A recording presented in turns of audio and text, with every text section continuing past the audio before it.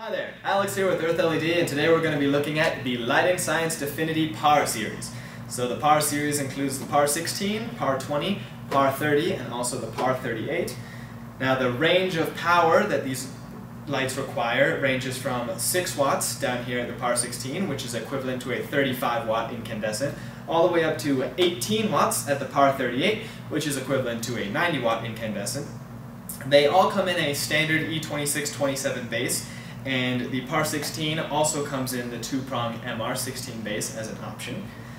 The lifespan of these lights is over 50,000 hours and they come in three different color temperatures. A warm white, which is at a 2700 Kelvin, neutral white at 4000, and a cool white at 5000. All of these lights are dimmable and they range in a light output of 315 to 1290 lumens. The PAR 20 and PAR 30 are both Energy Star certified. They have a five-year warranty for the 20, 30, and 38, and only a three-year warranty for the PAR 16. And now we're going to go ahead and we'll take one of these and screw it in, light it up, and show you what it looks like with the light and also the dimming capabilities.